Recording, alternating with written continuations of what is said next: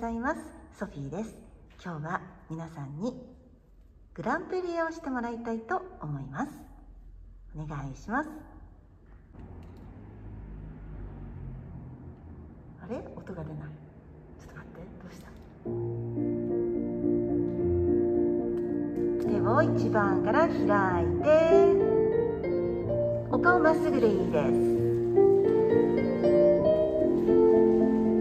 ポジションチェンジして。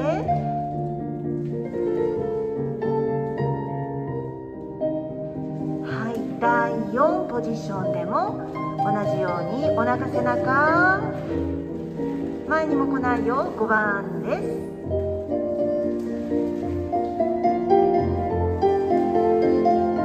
今手を下ろしましょう。はいいいです。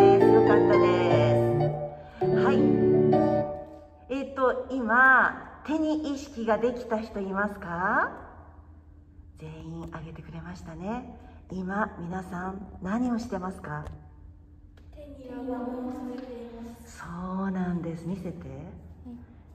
はい。あのテーピングで代用した人とあと輪ゴムの人がいます。ではバトマンタンジをしてもらいたいと思います。あバトマンタンジとジュテが入ってます。お願いします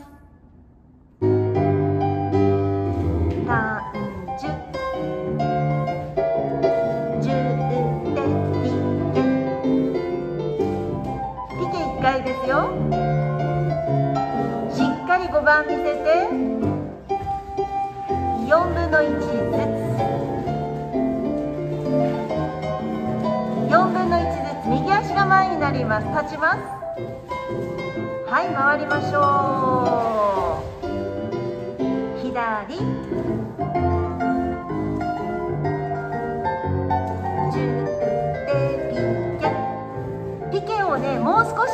高さまでしっかり上げないと何やってるかも言えないよ。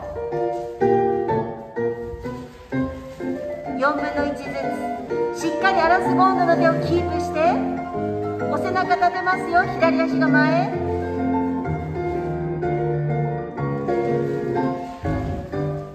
はい。おしまいにしましょう。えーとですねアラスゴンドの手はしっかりキープしてないとダメです。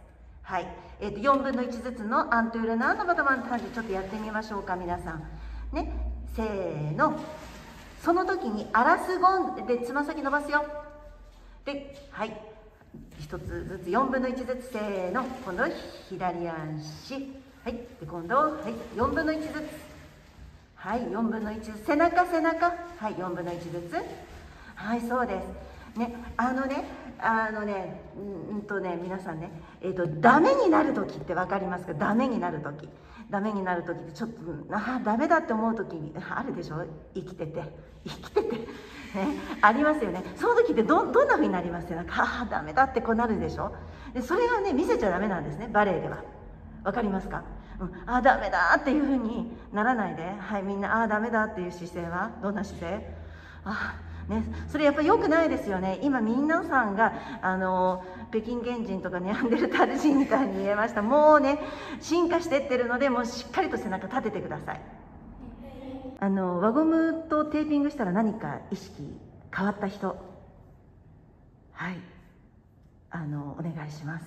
指に意識を持つことができました。ああいいですね。お願いします。前にやった鉛筆と同じような感覚がありました。なるほど。ではピルエットやってみましょう。ではピルエットをやってもらいたいと思います。頑張ってください。し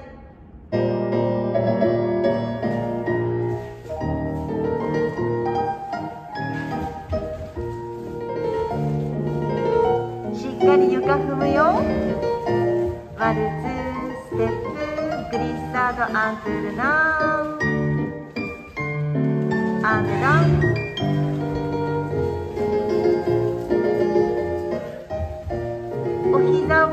横にするよ。ワルツステップ。はいアンデダンいきましょうね。はい頑張りました。